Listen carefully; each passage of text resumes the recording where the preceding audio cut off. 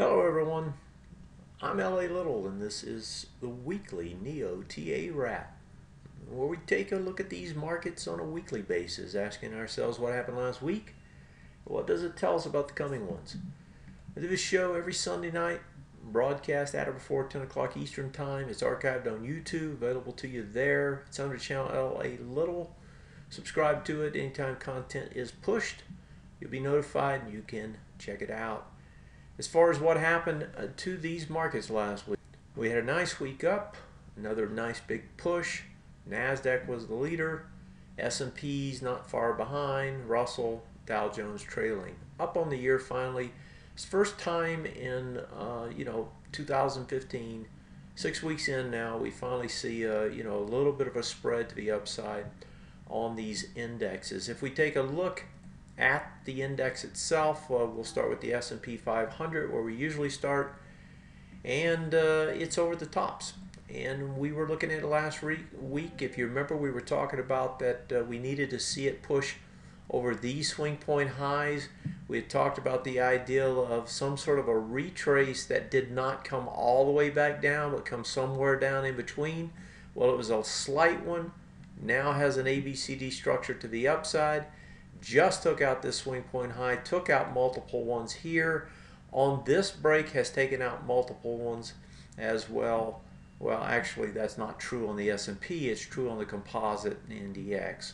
Uh, S&P didn't register six bars before it took it out on the weekly. If we take a look at that weekly, you can see what I'm talking about there. You never quite registered a swing point high there uh, because it because it got higher the next week and now you're within six bars you're back up and over. But nevertheless doesn't change things. And if you remember folks the big story had been all along these retest regions not only here on the indexes but on the sectors. They came down they tested they tested they tested they never could break. What does that do? Well eventually it's going to try to test test on the other side and try to break and now you do have the break on the futures and not on the futures but on the S&Ps and it's over the highs. It's it's you know four days pretty good push now after that Monday pullback but uh, it looks to me like it can push some more and if you look at those targets on that ABCD structure uh, that presses up another 40 points or so. So we, we could get a fairly decent move and a lot of that's going to have to be uh, or is going to be dependent on what comes out of Greece this week. Uh, U.S. markets are, are, are closed tomorrow. Uh, President's Day, it's uh, 216, so President's Day, they're going to be closed. Open back up on Tuesday. By then, whatever news is going to be coming out of Europe has already probably came out. That could lead to a spike higher, or we may see some sort of a pullback off of that. If we get a pullback, you know, the first thing you want to do is watch this retest regen. And so it becomes very important that this thing actually does extend higher before it comes back to have a better chance of holding. And not only that, to set up another nested ABCD structure inside that uh, if in fact that's the way it works out. So ideally you want to see this S&P push up a little bit more and set up a larger push to the top side. Can it do it? Well, if we look elsewhere and we look at the NASDAQ composite, the NASDAQ composite is going for the 2000 highs now. They're only a couple hundred points up, breaks over two swing points. This is on the daily chart. Breaks over them right here, acid volume, confirmed, pushing north and north in a nice way, right? Two big bars. If this one comes back, the retest regen is here, so it can come back more than likely will hold. It has ABCD structures in place already, although these are nearing completion at this point. So I would expect it will start to pull back here pretty soon. Uh, and then potentially set up another ABCD structure to take it higher. If we look at the NDX, now the NDX not as strong, but it makes the push finally, gets over swing point highs and I didn't show it on the uh, the NASDAQ composite, but we'll look at it here on the NDX. Also breaks over swing point highs here, has a confirmed trend, And if you do ABCD structures here, uh, they get pretty ridiculous in terms of how high they project. So we may be in store for another big leg to the upside, uh, especially if Greece solves their problem and uh, you know the tragedy's over there with the Greek story and we move higher off of that news. Again, you know, the same sort of idea that we just talked about in the S&P was the same sort of idea here. You test, test, can't break. You finally break it uh, to the top side. Looking at the last one here, the Russell, uh, in terms of the indexes, the Russell now, uh, let's look at it on the weekly. The Russell has been in a range trade since last year. It's, it's a range trade now this long, just starting to peak out over the top. That one also ABCD structure. Uh, we're on the weekly here, so you have an ABCD structure here that doesn't project very much farther, a little bit farther. If you take the larger one, right, that one actually has a much larger structure in place. So it looks to me like all these indexes uh, potentially move up, come back in, do some sort of a retrace, set up another ABCD structure to go meet those higher projections uh, on a longer term basis. That's kind of the way they're all starting to set up. If we look at the ox markets to see, you know, if there's anything over there telling us anything different, you know, if I look at uh, the currencies to start with, which is the dollar in particular, on the dollar, uh, if we look at it, you can see a consolidation starting to take place now. That's the sort of thing we actually want to see if we want to be long equities. You want to see this this dollar just consolidate and trade in a range and that is the sort of trade it's starting to set up. Got a nice big spike, wide price spread bar here, a retrace down into the bottom before this over does look like it has the potential to happen. If so, that retrace would give this market time uh, to go off and work on the upside. If we look at the oil market, same sort of thing here. You've got a consolidation starting to take place at the bottoms. Again, that's the sort of thing you need to see because with a consolidation down here, you can get stabilization, which allows these markets not to worry about it. If we look at the bonds, the bonds have been trying to pull back. They're almost into the swing point high. They've got decent volume coming back into it. Uh, volume over there is 7.4 coming back with 8.3. I think it's going to get into it tomorrow. If you look at it on the weekly, big volume at that area as it comes back into it. I suspect the first time in it's going to hold. It does look like it's going to test into this area and probably do it uh, tomorrow. Well, markets are closed tomorrow, but do it on Tuesday. So that's the bonds. Bonds also, you know, get a bounce out of that, maybe come back down as a result. Looking at silver and, and gold, it was a key week here, and the reason for it was these markets, if you remember, they've been in a downtrend for quite a while. Matter of fact, let me pull over the monthly on silver. You can see this has been a steady downtrend now for a good three years. So you come off the top, ABCD structure down, completes. Another one holds, eventually comes back up, but eventually gets the break and ABCD down completes there. Now you've got one from here, right? You get a bounce, you start coming down, and this one is interrupted, doesn't finish. So now it's trying to come back up on a monthly basis to get back into those lows. If we look at silver, those lows look like, uh, let's get the numbers here. That low is uh, 18, 1775. We got as high as 1769. So you can see you didn't quite get into it. Why are we looking at that? Well, that's the retest regen zone. And you always want to look at those because that's where it tells you whether it wants to regenerate lower or not. So on silver, just trying to get up into that area and test it. Still a downtrend. No question here, still a downtrend. Trying to turn, but still a downtrend. If you want to turn, you have to go to the more recent uh, time frames. As a matter of fact, let's go to, let me pull this one back over. Let's go to the daily. And on the daily, you can see a turn, right? You can see it taking place. Once it takes place there, and it eventually takes place here, which it did, the big question on the weekly is can it hold a breakout, you know, when it gets higher. And in this particular case, uh, it pushed up and over this high, comes back down into it, kind of test on it, doesn't give it up. That's a good thing. If we look at the swing point high, that was the key test. That's this bar. That bar has a high and a low of, uh, let's get the low on it, 1650. Got down below it last week. This week, gets back above it, 1654. If you're going to get a breakdown, you want to see a couple bars. Well, it didn't quite get a couple bars, so it's still hanging on, so to speak. That's silver, that's the more volatile one. Let's go look at gold. If we look at gold, it's got the same scenario everywhere on the long term, uh, just not quite as negative. On the daily, the same sort of thing pushes up. If we look at it on the weekly and say, okay, how did it do on its retest regen?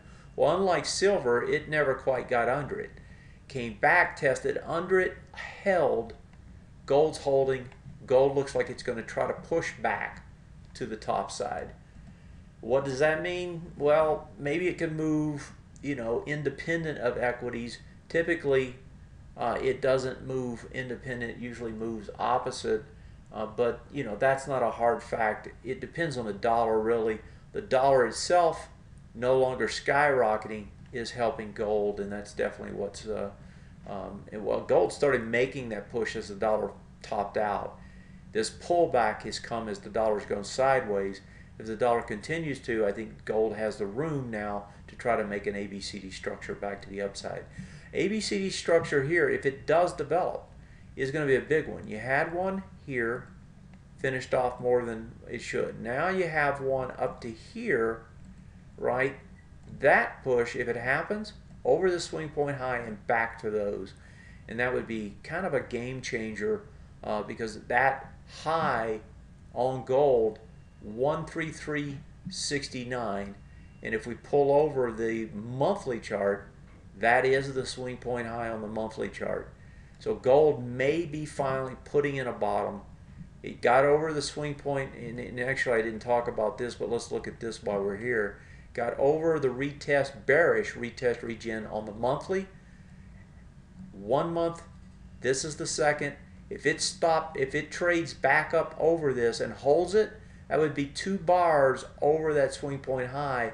That would be the first time we've had a change in trend from, you know, in terms of retest regen. The change, we, the first time we had a change in a regenerate lower unable to regenerate lower, that says more than likely you're in some sort of a sideways action.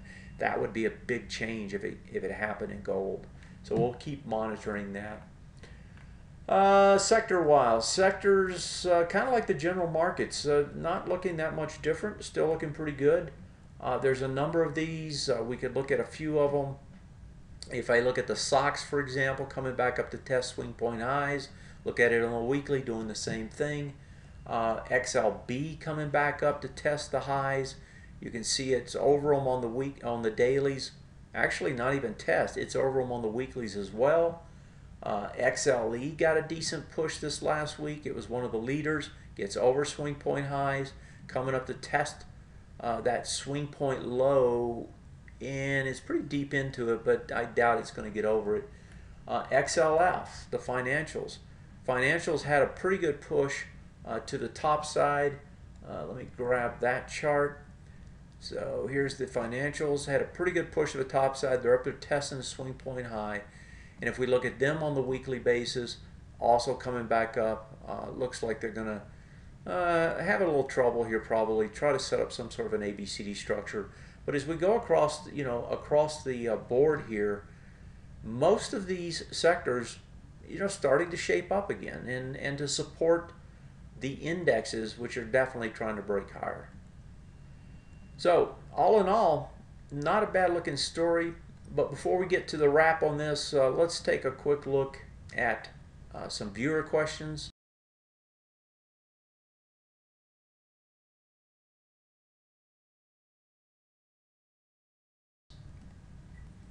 So this first question has to do with kind of a general uh, question when you have a stock like uh, you know American Express, which just got hammered off news that they they're going to be losing the um, exclusive contract they have with Costco, and you know even though that's not going to take place for another year or so, they have been hammered as a result of that. And how do you play something like this? So you know the question specifically was uh, it seems like a stock that drops 15 20% and then does a quick rebound to recover may uh, recover half of the loss or more. So do you have any guidelines on how you follow as to when to try and buy a stock like that and how would you do it? So the the first the first note here is that you know when you're looking at this stock in particular somebody already knew something. You had a swing point low here you broke underneath it there and you did it on volume. You got another break here on a, on a daily basis. And then you came back up to test that bar, that breakdown bar.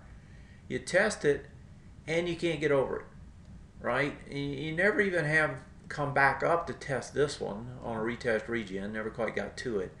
That's showing you quite a bit of weakness, right? And then that little push back up couldn't handle it. Now you come down big volume, right? Big blowout volume underneath another swing point low. So when I look at this, the first test that's going to be available now, and let me clean this up, is a retest regen off this swing point low. And so when we're looking here, the first test, let me just do it this way so we can look at it cleanly. The first retest is going to be here. So the first thing I want to do is I want to have enough, you know, depreciation of price to where my bounce is going to be pretty good. That that's my first thought because no matter what the the stock does, unless you can get a money management setup that makes sense, then the trade doesn't make sense unless you're day trading. I mean, you can day trade almost anything, but you know, if you're if you're talking about a swing trade, which is I believe what's being talked about here, then you have to find something like that that gives you that. So here you got an ABCD structure down. I mean, that's part of the deal, what I just talked about. The other part is, you know, projections. So you got an ABCD down. Uh, that structure there looks like it's about done, maybe a little bit more. So that one's about played out, probably going to get a bounce. That bounce going to take you back into here, could reach the top part of it, and then push back down. But before you can even play that, if that's what's happening, is you need some sort of reversal and we don't have that yet. If we look at it on a weekly basis, right, here you can see the projection is much lower. A, B, C, D here to there, back down. That's quite a bit lower, so you can see your risk. Still a lot of risk here, and just like we were just talking about, what you really want to see is you want to see an extension down far enough to when that bounce does come, you have a much better chance of making money. The other thing I see here that makes it hard to make a trade on this, at least right now, is it blows this low out and it blows it out with volume.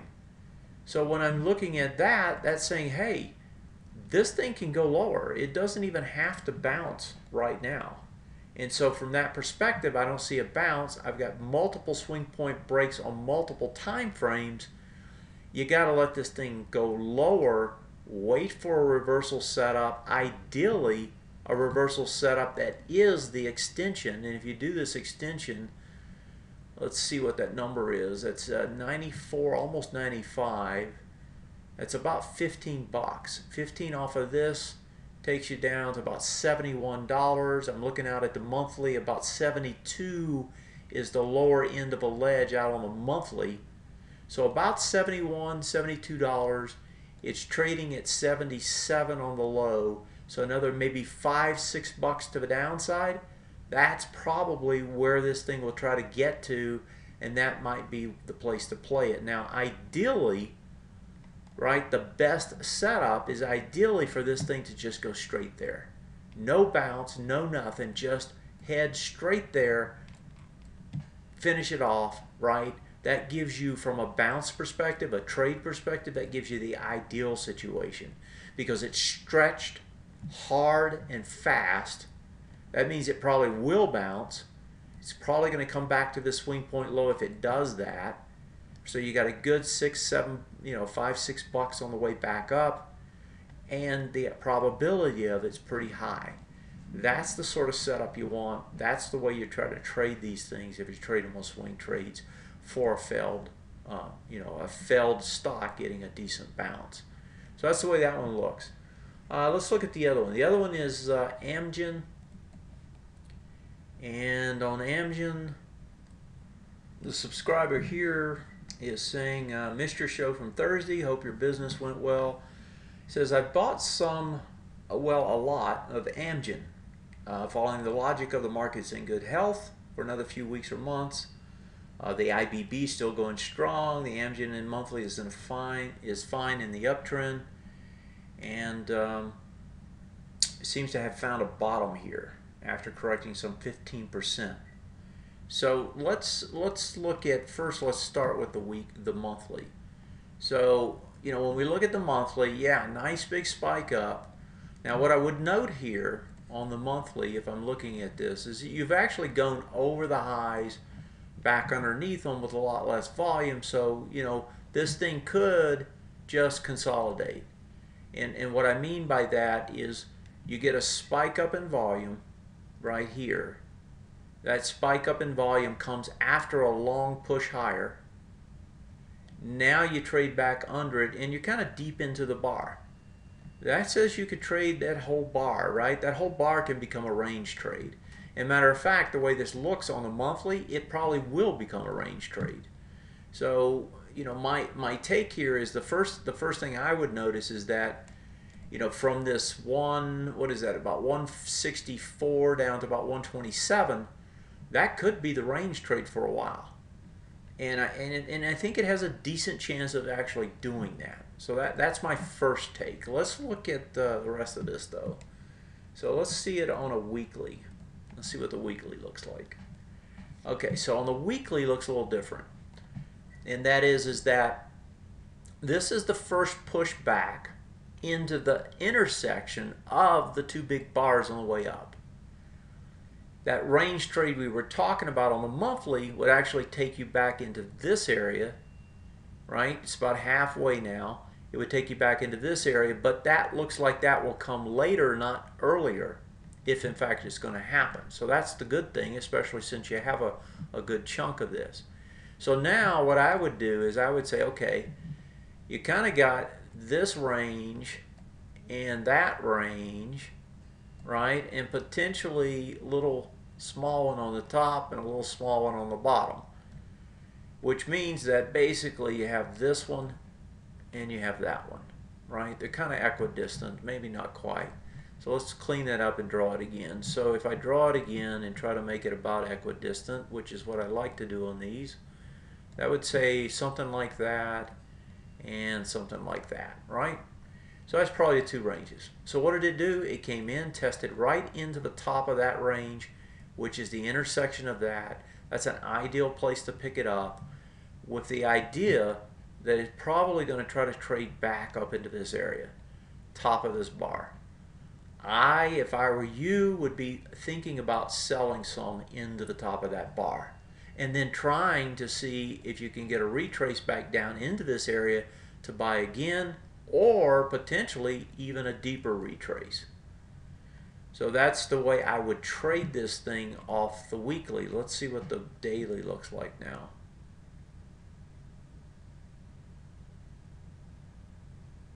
And the daily doesn't change my mind at all. This this uh, looks like this 164 area is the key area on the way back. And is that is that this bar? It actually is 164 so yeah about 164 so that that would be my my the way I would look at this for now. Now, there was a mention of the IBB as well, and, and frankly, I haven't liked the way the IBB is trading. Um, and, and and the reason for that is it, it doesn't look nearly as healthy as it has been. These bars were bars to the downside, big volume, not much on the way back up, although it's heading up. Also over here, a huge bar to the downside, big wide price spread bars. if you look inside the IBB, there's only one stock in there that's really, you know, hitting on all cylinders. The rest of them are struggling. And that's that's on a daily basis. If I look at it on a weekly basis, it doesn't look quite as bad. Um, but it just doesn't feel quite as good as it did, I guess maybe is the way to say it. Is it in trouble? No, it's not in trouble. It, you know, is it, is it going to break down? I don't I don't know that it's going to break down. It just doesn't look as strong as it did, in my opinion. So uh, I would uh, I would definitely trade around that core position, especially since it's a large one uh, that you have in Amgen, uh, trying to better that price point for a longer term move um, is the way I would probably trade it. So let's go and uh, take uh, a weekly wrap here and see what we have as uh, our general final parting thoughts.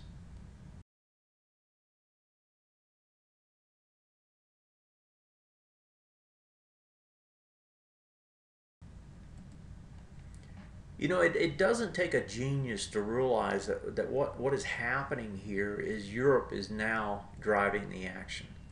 And that's because of the QE that's taking place in Europe. You had a big push up on the expectation of QE. It kept pushing and pushing. This is the CACs. Gets a consolidation and now is starting to leg higher again. That's true here.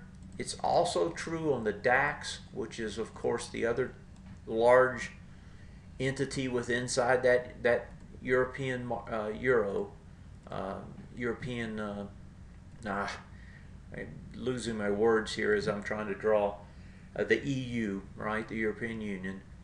Consolidation now is taking place. This one is struggling to get back over the highs, but it's hitting them with pretty good volume. It, it, it won't surprise me to see the DAX also push higher before much longer. European strength is ending up being strength for the rest of the world, just like we saw with Japan about a what almost a year and a half ago now, right? Where they came out with their big QE program and everything went up as a result. We're getting the same bleed over now out of Europe. And so when I think about Europe and I think about what's happening in these markets, Europe can move higher. There, there's nothing here to stop this from making a larger move. If I bring it to the monthly and look at uh, Europe from that perspective, you know, an ABCD structure here starting at 76.55 uh, up to there gets you about what is it about 2100 points uh, tack that onto here that gets you about 10 10 uh, oh let's get the numbers right let's do it again because I got it wrong and so if I go back here I think it was about 2500 points yeah, it's 25 onto that. It gets you about 10 eighths, which is about where it is. So ABCD structures on a long-term basis just about finished. Consolidation, you kind of can see that consolidation taking place. Consolidate and then start pressing again. And I suspect that's probably what we're going to see happen unless we get a big problem in the EU like Greece or some other country uh, tugging against it economic numbers starting to look a little bit better in the EU. Uh, you know, it just seems like this is where everything's coming from, and these charts are pretty positive. So, if I look at that, that says, hey, these things are going to hang up here and probably try to start pressing higher again before too much longer. What does that mean for U.S. markets? Well, if we look over at those, we've already talked about this ABCD structure here being huge. You know, it could go another 100 points. And if we look at it on a very long-term basis, there's nothing to stop this from making new highs, which is doing, and pushing higher. You know, ABCD structure here, I'd have to compute it, but it looks pretty tall to me. It looks like another 5% or so at least. So everywhere I look, now that we've got that breakout of the consolidation, it does appear that these markets are doing another leg up.